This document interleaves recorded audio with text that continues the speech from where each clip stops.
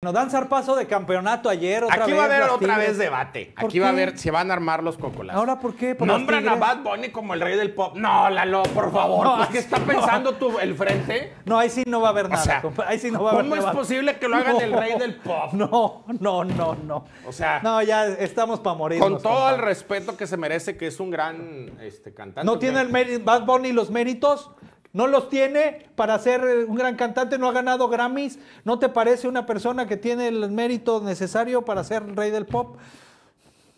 No, entiendo. Pues así, ¿cómo te pones tú que no tienen méritos? Pues no nos gusta, a mí tampoco me gusta, pero pues algo ha de haber hecho bien. No, y no lo voy a defender, ¿eh? No, se nota Jamás, que no. sí, jamás voy a Tú y defender Alex Sinteg aman a los reggaetoneros. Alex Lora. Sinteg. Ya ves que Alex sí, Sinteg dijo un día tampoco. del fue como Sí, no. Saludos a mi amigo Alex Sinteg, ni lo conozco. ¿verdad? Molotov también sacó una canción en contra de los reggaetoneros. ¿Así? ¿De qué trata? Se llama Quiten el Trap. Está, que- está divertida, búscala. La voy a escuchar ahorita, ¿no?